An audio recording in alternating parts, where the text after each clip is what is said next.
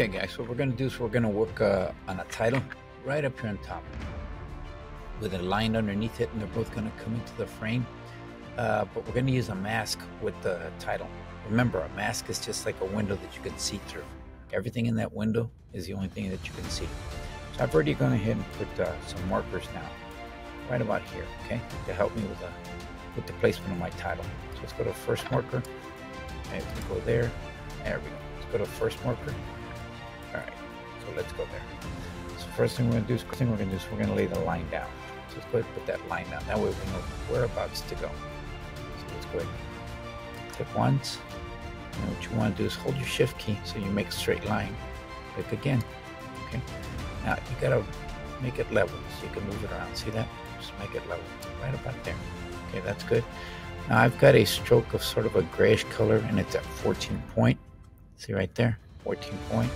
So I don't know if you want to make it less, you can just do that. See that? Let's make it less. Make it 7. Okay, that'll work. Alright, so there's our line. Now what we want to do is we want this line to appear uh, to, to appear into the frame a little at a time. So let's put our reference point right in the middle. Okay. So now let's go ahead and name it. We're going to call it line. You look over here and change the line. Okay, so there it is right there. Now what we want to do is we want to work with the scale. What we want to do is, right now we want it to be at 0%, but we're only going to work with the horizontal scale, okay? Right here. What we're going to do is hit the stopwatch. Right here, hit the stopwatch to put in a keyframe right in here, guys, okay? And we'll make that zero, okay? Now, we want to go ahead and move it forward a bit, okay? I want to move it to that anchor point right there. Now, at that anchor point, what I'm going to do is go ahead, stopwatch again, leave that alone, okay? Because if not, you'll reset it. What you want to do is add another anchor point keyframe right here, okay? First keyframe is there, so let's go ahead and add another keyframe right here. Click on it. There it is right there. Okay. This time we want to do it at 100%. You may have to play around with where you put the keyframes, okay, depending on how fast you want it to come in. So let's take a look at it. Let's see how fast it comes in. Okay, that's not bad. Right. So as it's coming in, right there, it comes in at full. Right at that anchor point, it comes in, okay? Right about there, what I want to do now is I want to go ahead and put some text. So grab your text tool. And what I'm going to do is I'm going to put it right down here. Down here. So now we're going to put bears versus warriors. Okay? Now it's kind of big. It's inherited the, the properties of my last uh, edit. So what I'm going to do is I'm going to bring this down right over here. And make the adjustments right here. Or you could even come over here and make the adjustments right over here with the text.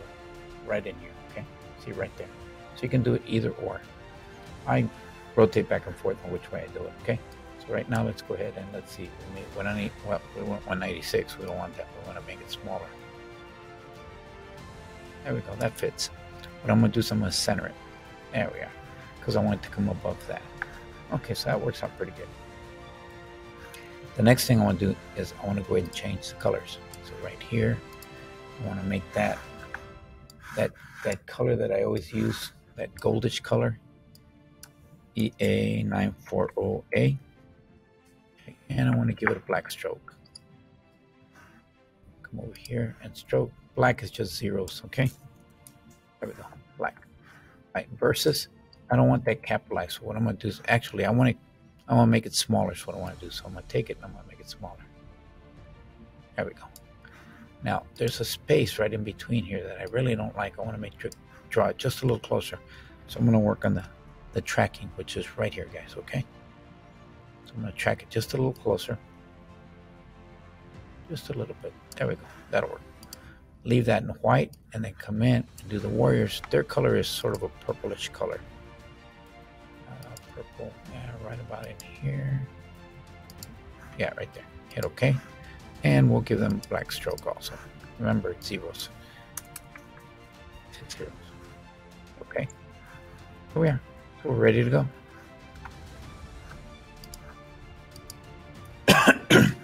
Okay, so what I've got now is my text, and I've got it right about where I want. So let me put my reference point right in the middle. Okay, there we go. That just helps whenever it's uh, animating. It'll go straight from the middle. Okay, so now, and move it up a little bit. Take it just really close. There we go. Now I'm going to go ahead and go over here to effects control, and what I'm looking for is the pen tool. Because what I want to do is I want to draw a mask. But actually, if I use the square, okay, I think it works a little bit easier. It's easier to control the points on the corners. So let me do that, and it'll take on its shape this way, okay? So now we're going to go ahead and just adjust it by moving it over, okay? Like so. Just take the points and just move them over. Now you'll notice that it's only showing what's in the window, right? We're going to make another adjustment here in a little bit. Okay. Right, so there it is right there. So now what you want to do is you want to take it and you want to move it up. Put it right above that line. Now adjust it so that it's right above. There we go. There we go. Now, if you look at the mask features, what you've got is, okay, the feather is 10. That means it's it's blurred just a little bit right at the edge, okay, but 10. So let's make it 7, okay? And you can play around with how much you want to you want to do that. Now, we're going to go back to the text, okay? The text is right here. So let's leave the mask alone. Let's see. The mask comes up. Okay, that'll work. We'll work with that. Okay. Let's leave the mask alone. So now what we want to do is we want to go with the position. Okay. So let's hit the keyframe right now, right there. Okay. And now what we're and the mask disappears because we went away from the mask. What you want to do is, oh, we hit the position over here on this side. Okay. Well, what we want to do is we actually want to bring it to the beginning. So let's undo that. Okay. We want to do is, well, that is the beginning. Okay. We hit the position. Okay.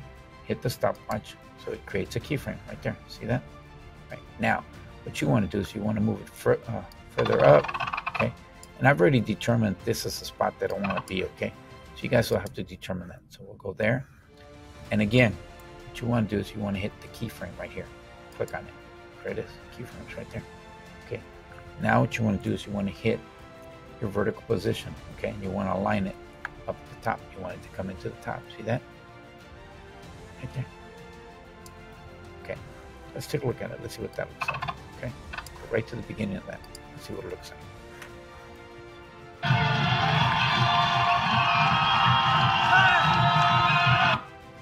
That looks pretty good. Now I want it to stop right about there. See, because it hits on the helmet. So actually I'm gonna go ahead and take it out right there. Now you guys can add an effect, any effect that you want, but I find that if I do the wipe,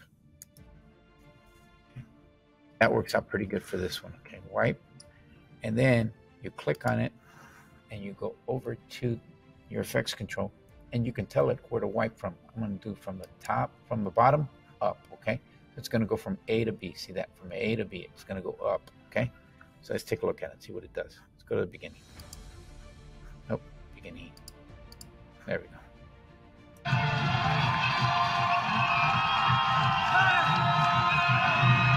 Okay, that's kind of fast. So what I'm going to do is I'm going to work on this right here. Now, I can adjust this by just grabbing it and bringing it over right here. Or I can work on this panel right over here in the effects control. I can go ahead and make it longer right here. Okay, just by doing that right there. So let's take a look at it. Let's go from the very beginning. Let's take a look at it from the very beginning. Now, I've got to adjust that. I don't really like that. So I may just take everything and make it, let's see. Let's take everything for edit. Bring it over just a little bit. That down. See, I want to adjust it, see if I can't make it work just a little bit better. There we go. I think that works better. Okay, there we go. So let's take it.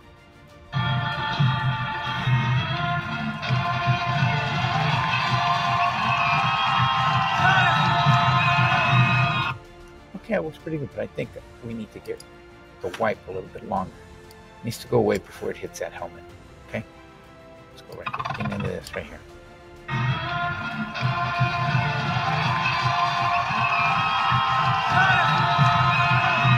Okay, that works pretty good. It cuts into one guy's head right there, but that's okay. That's that's not very consequential. Okay. So anyway, that's how you do a title. Okay. Do a title with a mask. Okay. If you look at it right here, there's your mask. Okay, right there. Right there's where the mask is. Okay. See the line comes in. There we go. So there we go. That's how you do a title with a mask.